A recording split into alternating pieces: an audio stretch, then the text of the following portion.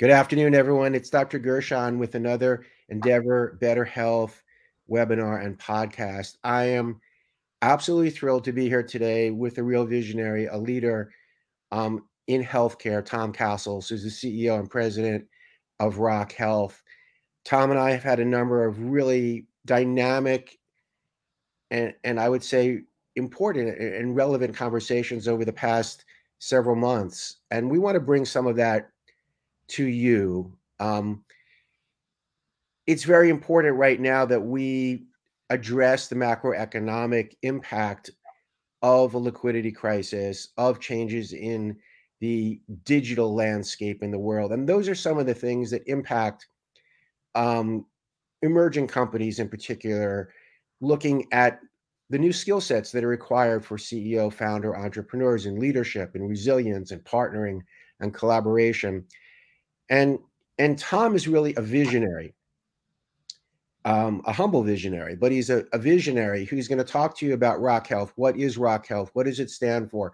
What is it doing in its investor category, in its advisory work, and its in its in its uh, nonprofit work? All three are aligned very much with addressing where the puck is going, as Wayne Gretzky said, um, as opposed to where it is now. So, first, I want to, before we begin the webinar podcast, I want to thank everyone once again for being incredibly supportive of the Endeavor Better Health platform. Um, we now have 1.3 million views.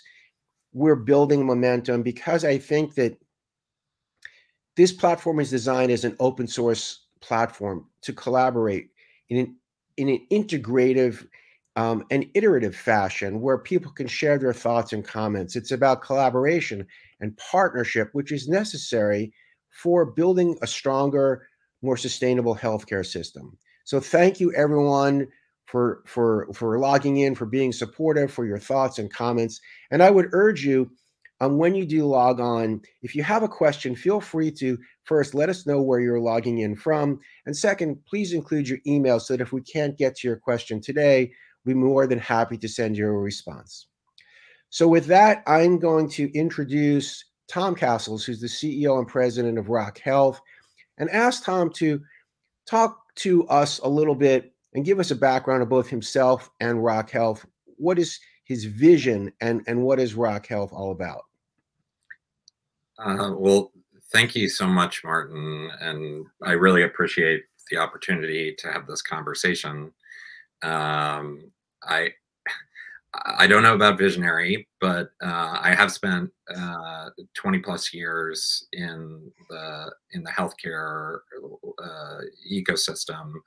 Uh, first as a health services researcher, uh, then as a, uh, a, strategy consultant for um, providers, plans, digital health companies. Um, the the the thing that um, actually is is probably most um, integral to the way that I look at uh, my role in healthcare is that um, I think this is an industry um, that is is kind of deeply misunderstood, um, even by the folks inside of it. Uh, so what I what I've learned, how I've learned most of what uh, is really kind of uh, central to the way I go about uh, my work and why I'm um, doing that at Rock Health is the fact that I'm a I'm a super user user of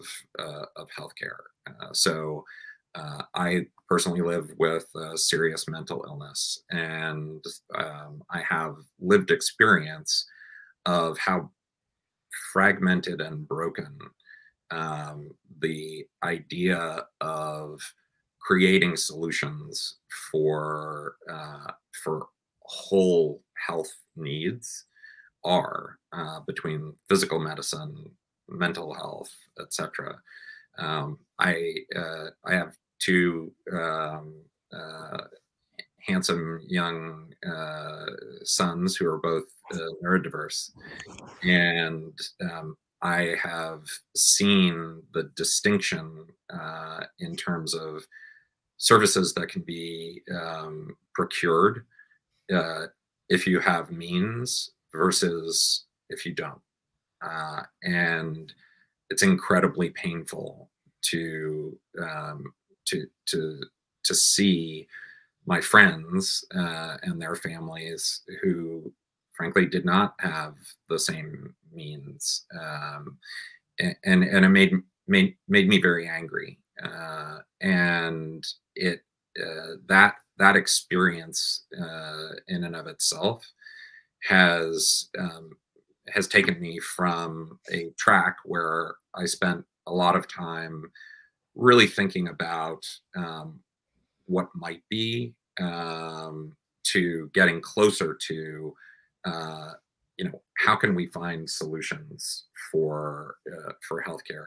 Rock health um, has been around since 2010 and has taken on uh, a number of different uh, different forms. Um, right now, we are uh, we're we're we're a transformation engine. We want um, to trans uh, transform healthcare for all humanity and to bring more humanity to healthcare.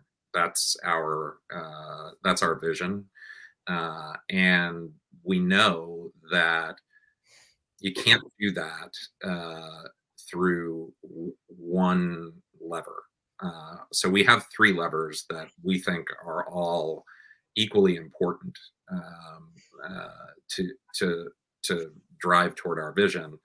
Um, the first uh, is uh, we we focus all of our work on the lens of health equity, uh, and uh, we do that through primarily through uh, our uh, our parent organization rockhealth.org uh, and and there we focus on both the the kind of opening of the aperture to um, uh, founders and investors to have conversations of great meaning from different lived experiences. Um, so we champion um, really the kind of deal flow uh, uh, diversification uh, toward more uh, female founders, founders of color, uh, founders from rural markets. Uh, and we think that that's really important because innovation, no innovation is innovation if it doesn't actually translate to the broadest possible population in, in our perspective. Now, in order to push that forward, we have two other levers. Um, first, Rock Health Capital. Um, uh, and I should mention um, Katie Drasser is the CEO of, of rockhealth.org and, and really kind of my touchdown um, uh, for being here. Rock Health Capital, uh, which is led by Bill Evans, our, our general partner, um, is, is really focused on how do we support early stage entrepreneurs who have this vision of we're delivering full solutions, not features to healthcare. Uh, and he does an incredible job uh, uh, of of kind of pushing um, through funding uh, uh, the the entrepreneurial innovator. Uh, and then there's Rock Health Advisory, which which I lead. Um, I'm also a venture partner in Rock Health Capital. Um, Rock Health Advisory is about pushing the entrepreneurial uh, innovators. So, folks who are inside large healthcare organizations, um, healthcare adjacent organizations like retail, um, big tech, etc., to to really focus them on two two areas. One where can we be using uh, digital to do what we do better? And two, where can we be using digital to do better things? Things that aren't currently part of the healthcare um, value chain. So, you know, my my lived experience requires that I work with an organization that sees the lived experience of the the broadest possible community uh, and has these different levers to pull um, so that we can really push the timeline on transformation. That's such a great overview. And so I think important for um, many of the CEO entrepreneur founders to understand that you know vision is the starting point and then enrolling people in the vision you know really is is the engine that drives that and you know frankly you know what you've done is bring together some outstanding people who I've met recently over the past few months um, who can take the vision, the shared vision, in, in fact, um, to create real meaningful change. And I think, you know, the one of the key points and core points of this conversation today is to talk about the future and talk about in a practical, tactical way, you know, what do we need in terms of people? What do we need in terms of skill sets? What is the is the changing landscape that in part is is being driven by new innovation and technologies like AI and machine learning and deep learning. These these new technologies do require different skill sets from entrepreneurs. There's also, in parallel to all of this, an adjustment being made by large industry leaders. And you know, one of the exciting things about this conversation is that you have your finger on the pulse of emerging company CEO founders, as well as key industry leaders. And yeah. so for me, when I'm a moderator or a keynote in, in, in conferences, the message, you know, from industry is is crystal clear. We want the technology, we want the innovation, we want to work with emerging companies. But there's often a disconnect between what the founders and entrepreneurs see as relevant, important, and, and their next steps compared to what industry leaders want. And the message is that there is a certain set of skill sets required an understanding of how do you bring innovation into a large scale business effectively? What does that require? And, and the thesis really is, which is centering on the core of our conversation, about leadership, about being able to adapt and pivot and bring technology in an in an integrative way, piece by piece, through collaborations and partnerships, working on various projects within industry, because it's not just a turn of the key. It's not, you know, for the past 20 years, we were about, you know, driving disruptive innovation at any cost. And and now really cost is a factor. Um, both both human human cost um, as well as financial. So I love for you, you know, with that kind of long preamble, um, which I took the liberty of giving, really to set the stage for you to talk about, you know, you've made a lot of investments and you understand what industry needs and you see what's happening on the founder side.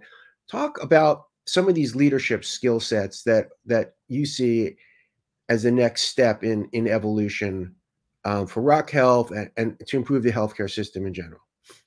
Yeah, um, I think one of the most important um, leadership skill sets is um, self awareness.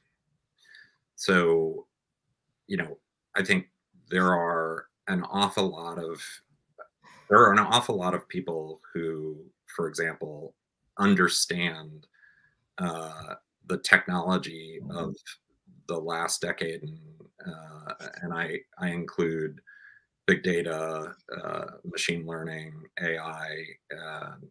You know, these are not new technologies. Um, they're also not products, uh, and I think some of the some of the CEOs uh, that I really admire um, understand that there's a difference between wielding a tool and understanding an actual job to do for their customers. So a, a good example of that is, um, you know, a couple of companies that I really admire. Um, one uh, is is one that uh, we've invested in at Rock Health called Arine. Arine is an AI uh, digital platform for um, uh, medication therapeutic management. Uh, and the, the CEO, Yoona Kim, who's a pharmacist by training, um, was really self aware enough to understand the problem was not we have to optimize the um, pharmacological care plan. The challenge is we have a lot of people on medications that just stay on those medications for time immemorial, regardless of need. Um, we also have a lack of transparency for physicians in a given moment to see okay what what what medications are people both knowledgeable that they are taking and are they taking them? Are they actually filling these scripts? So in the end what Arine does is it's truly excellent at giving a clear picture to physicians that they don't have right now of these are the scripts that have been filled for your patient. Given that do you still want to make the same decision on adding a new medication? The other issue that it solves is by the way um, are these medications still necessary so it's both a a, a view into drug drug interactions, but it's also about deprescribing. Um, it's deeply unsafe for people to be on medications for you know long periods of their life that are that are not necessary and so you know the self-awareness to understand the problem behind the problem that might not be quite as sexy um, but is really driving outcomes on the quality and cost side. I have I have a lot of respect for people um, uh, like Yuna who are pushing forward um, these business models that actually um, kind of make sense intuitively to the the large players um, that uh, that that I also work with. Um, a couple of other folks who I think are doing this really well in the using AI um, include uh, uh, Elad Walach uh, at Aidoc, um, Tamir Wolf at Theator, who are really looking at how do you um, how do you become the safety net for catching um, human error. Um, so in the case of Aidoc, missing um, uh, missing bleeds in uh, in a uh, CT scan. Um, in Theator, like when there is an outcome um, in a surgery that you you didn't expect, how do you actually identify what were kind of root causes of something that went on during surgery, or is it just something that you didn't know about the patient? Um, again, the AI is not the thing. The use case and the self awareness to understand okay, what are challenges facing providers in this case um, that end up costing uh, patients and going after that use case rather than just playing with data. Um, and I think there's that, that that's really important. I also think um, resilience is another huge leadership uh, requirement. And a couple of the people that I am most um, uh, most admire here, frankly, are very poorly served by the capital markets. Um, uh, the first I would mention um, is uh, Carlos Rodarte, uh, who is the co-founder of uh, a company called Veritios, um, which is really looking at how do you connect communities of um, of service providers with the communities that they most likely should be serving but there's just a, a, yawning gap between getting a referral and actually receiving um, receiving care. Uh, now, you know that isn't um, that isn't necessarily rewarded uh, as many SaaS-based um, uh, digital health technologies are. And I think the resilience that uh, that that Carlos shows is to find different mechanisms for funding to address uh, a need that that truly um, is a problem to solve and has a technological aspect of solving that problem, but is you know service heavy. Um, so you know I have a lot of respect for um, for folks who are in that position, and I also have a lot of folk, a lot of respect for people who view the job of creating partnerships that work um, for problems that cannot be solved by one party alone as a business model. Um, uh, and and uh, I'm going to use another example of a company that we've invested in uh, Rosarium Health uh, and its founder, uh, Cameron Carter.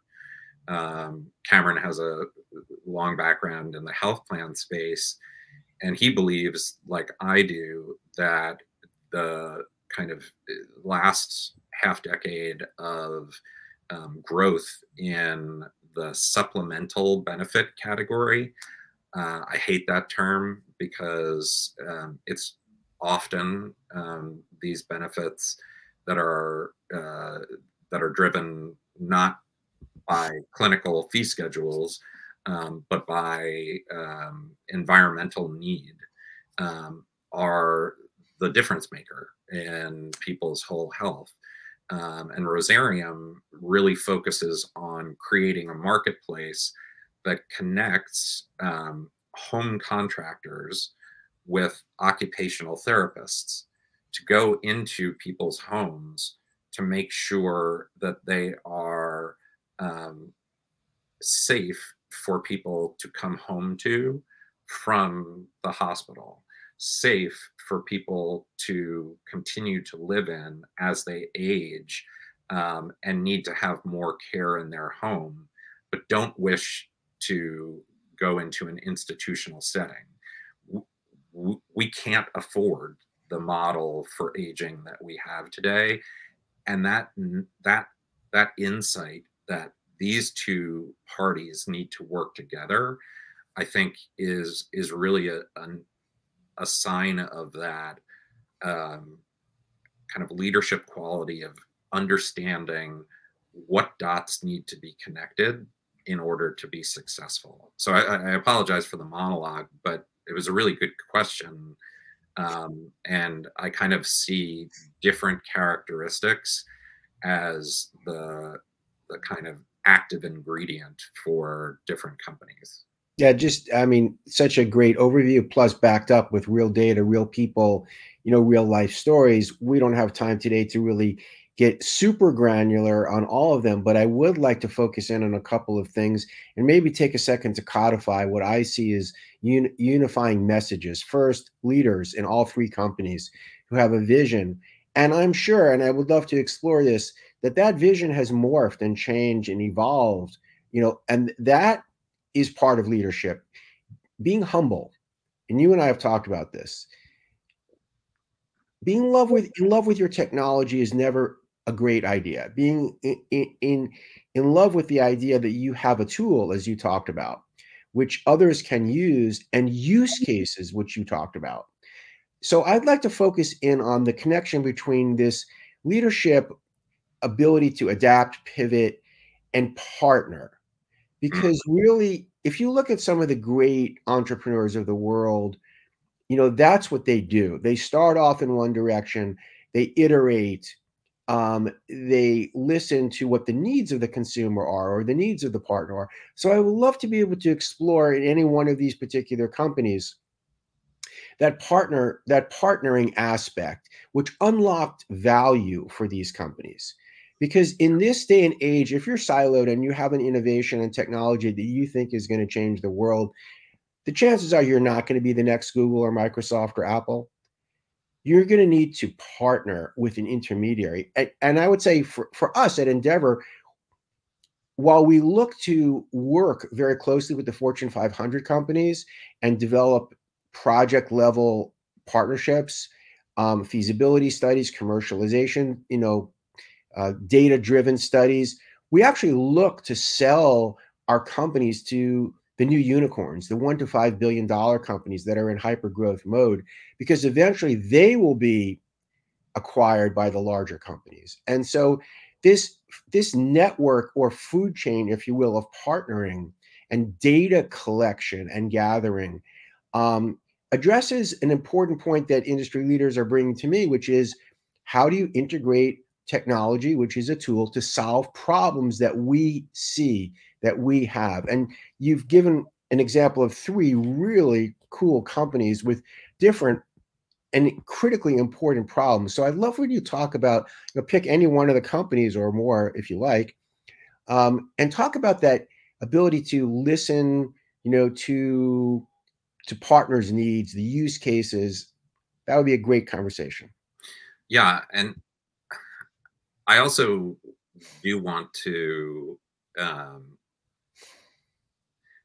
humility is uh, is not a word that gets thrown around in uh, in VC uh, all that often. Right. Um, but the real kind of the folks who have staying power, um, they have it in spades. Um, you know, and I also think they have champions.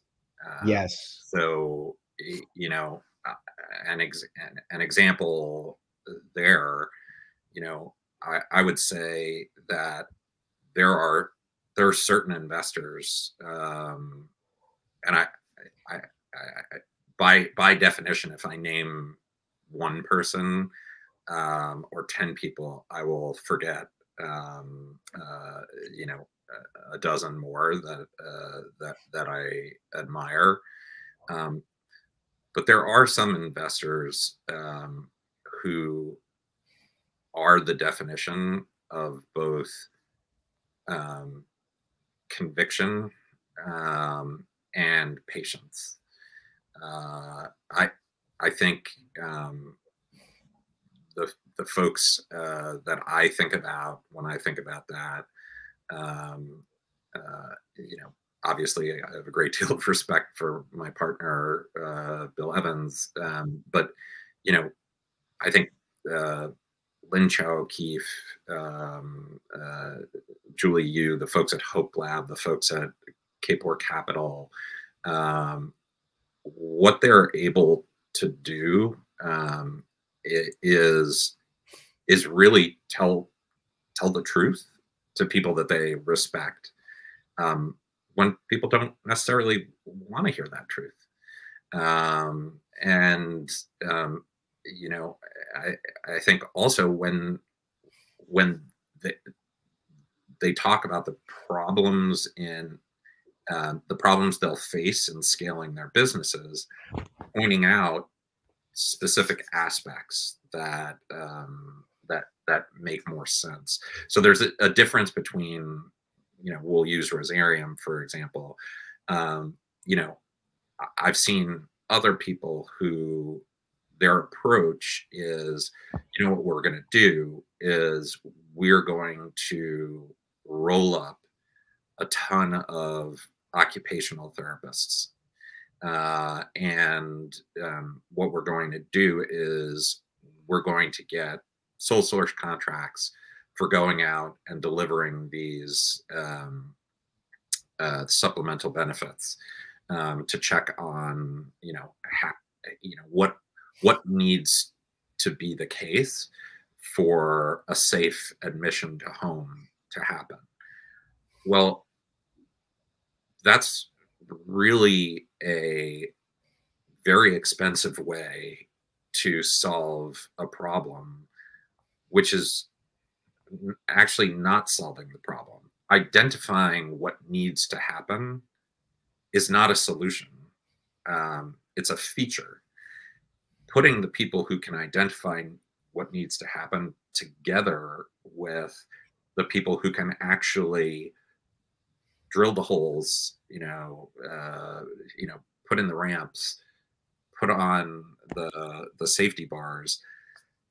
You're not solving somebody's problem unless you're doing both of those things. And you certainly don't need to hire a lot of contractors or OTs enabled to to to do that. Um, so you know, I think the the the humility to listen to um, um, not just your customer but your investors. Um, you know, one one that I come back to a lot, who's not an investor, um, uh, but uh, I will say is is a very important um, part of how we do what we do at Rock Health. Uh, is uh, uh, Michael Esquivel from Fenwick and West. And one of the things that I think he does um, with the, the founders that he works with is, um, you know, he is always in your corner and he's going to be, uh, you know, he's going to be tough when he needs to be tough. Uh, and I think, you, you know, there are businesses today that people um, may have uh, uh, used the example of a very successful um, business and uh, uh, that I, that I admire, which is uh, Evidation.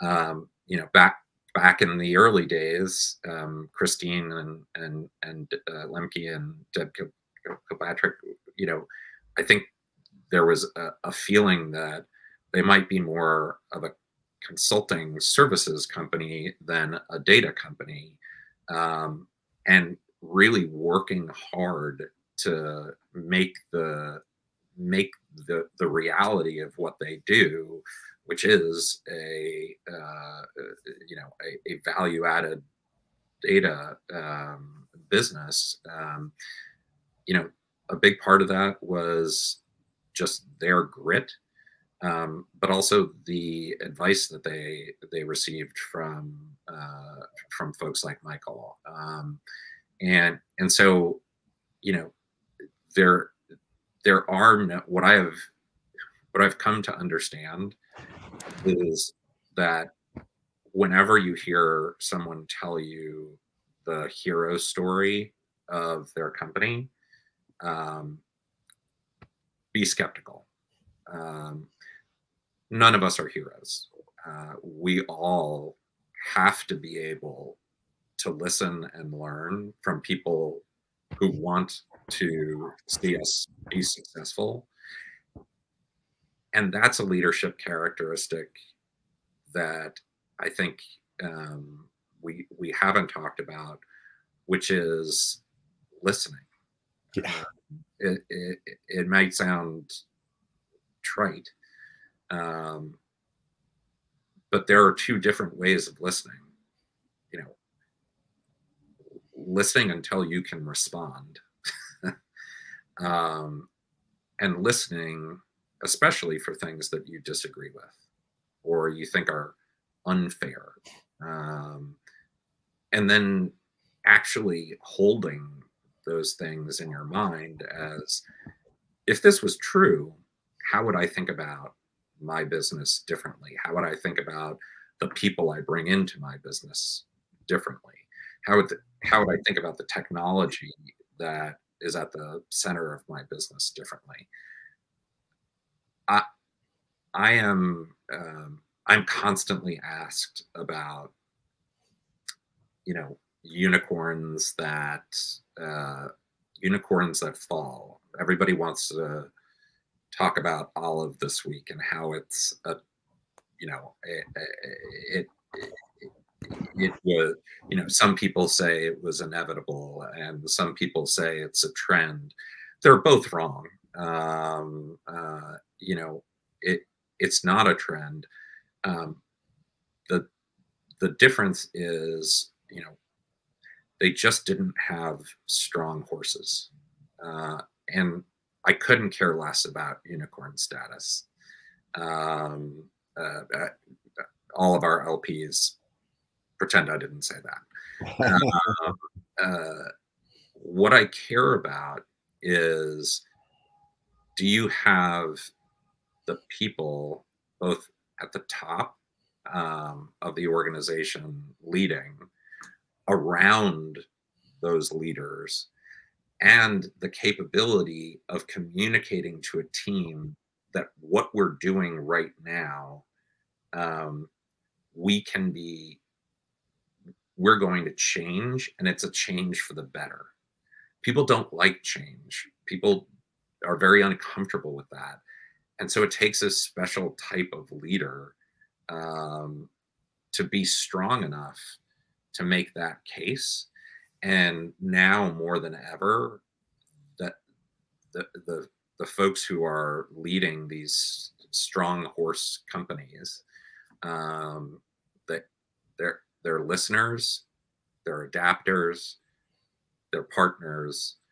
They're looking for all of the different ways that what they've learned through the life of their business could be of value to the future of their business. Uh, and uh, and and that's just a lot different than leaning on whiz bang tech stacks. Um, you know that that's just not that that alone um, may get you in the door but if you get in the door and then search for use cases for year after year after year you may achieve unicorn status um, but you're going to be telling a story that um, that's very different than uh, the the companies that that end up having having lasting impact. No, I mean, there's so much to unpack there, and, and really kind of words of wisdom. I think authentically, you know, brought to the forum um, with an understanding that both you and I, you know, have been doing this for a couple of decades, which by its very nature means that we have experiences and scars and and so part part of the message is and and I'll say this, you know, hopefully, you know, with a unified voice for both of us, you know, Endeavor and Rock Health stand for collaboration and partnership, and we're here to help in any way that we can without a sense of, you know, hubris. Like you know, we're only human beings, and we've made, um, you know, many many mistakes. I'm sure both of us, but through those mistakes, there is an intuitive process which looks at what is the template for success. And and when when I speak with with entrepreneur founders, I ask them generally four questions, which I I, I think is, I hope is meaningful. First is how do you define success? And we've been talking about that today. Like the success of the past 20 years, as defined by Silicon Valley, is not going to be the success story or these unicorns of the next 20 years. It's going to be the impact that the companies have, the sustainable impact. Mm-hmm. And, and how do you how do you begin to tell you know pre-seed and seed stage level companies you know that it's not about the one or five hundred thousand dollar check, but it's about building a strong business with strong teams that can you know weather the ups and downs, uh, you know, of the currents and the tides. Um, and so that takes leadership and character and courage and conviction and partners who, as you said in in one of your comments, you know, you need you didn't use the word mentor, but you need you need advocates, you need supporters, you need people who believe in you. You need champions is the word that you used. And so I think that you know what's exciting for me is these are human values. These are very humanistic values. The importance of humanistic values is is, is is that they're they're very very strong when you build them with aligned vision and, and so I think the first thing is what is the definition of success? And then the second question is who do you need to enroll to build that success? You know, what does that enrollment process look like, whether it's a person or a champion or a company or a combination? And then finally, uh, the last two would be, you know, when you achieve success, what are people going to say about you and your company? What do you stand for? What is your brand? What is your image? And then lastly, what is the roadmap, the long-term roadmap to be able to continue this success? You know, how did you get there and where are you going to go? And so for me, you know, these questions require feedback from other people and organizations. And one of the entrepreneurs that I particularly find outstanding is Reid Hoffman. Hmm. I think he really understands this mosaic extremely well. I think he brings sage words without chest pounding um, to to open forums, you know, quite frequently. And um, you know, I, I think I could talk to you for hours about this, but we are running out of time. So what I want to do first of all is just a huge thank you for for this important chance to hear your thoughts about the incredible people that you're working with, the support that you've given them, the vision that they have. I'd love to invite you know all of the companies that you mentioned onto the Better Health platform. You know, should they choose to to take advantage of that for the purpose of sharing, just like we shared now. Um, hopefully, this conversation has been a catalyst for thought, for exchange of ideas between entrepreneurs, between industry, and hopefully the notion that we can build you know s- successful companies that really have meaningful impact on healthcare and human beings um, has has been a very important core message here. With that i really want to thank people who have signed in today. And, and i will say one of the companies that i personally have a vested interest in um, you know, uh, a, company that um, is in the uh, uh, telemedicine um, uh, industry is, is, has logged on today. I want to thank Jose Lima and Tiago Caderas, uh, Pedro Lopez, um, who have all you know taken the leap of bringing an important healthcare company from Europe uh, over to the U.S. It takes a lot of courage to be able to do that in a time of you know economic stress. Mm-hmm. And so I think that, you know, a shout out to everyone who's logged in today. Alexandra, thank you so much. Tiago, Jose, uh, Gloria. We have people uh, dialing in from Germany, from Norway, from the United States. Thank you so much for your support. And I would say if you have any questions of of Tom, um, f- feel free to forward them to me at endeavor at gershoncapital.com. I'm happy to pass them along. I want to thank everyone for the tremendous support they've given. And for all those entrepreneurs and founders out there, please uh, take heart in that there are a lot of people who want to help. And and and I think you know Tom Cleary is one of those people who um, you know has shown by actions over quite a number of years that there is a thoughtful process that respects human values and that the mission, when it's aligned with important contributions to human beings, is supported by people who sustain their support, both financially and strategically. So I really I want to thank Tom once again for the, the work that he's done, for the work that he continues to do. And I look forward to our next conversation, which hopefully will be very, very soon. So thank you everyone for signing in today. Tom, thank you. Thank you. I really appreciate everything. Absolutely. Thanks so much. Hang on for one second, Tom, and I'm just going to sign us off here. You got it.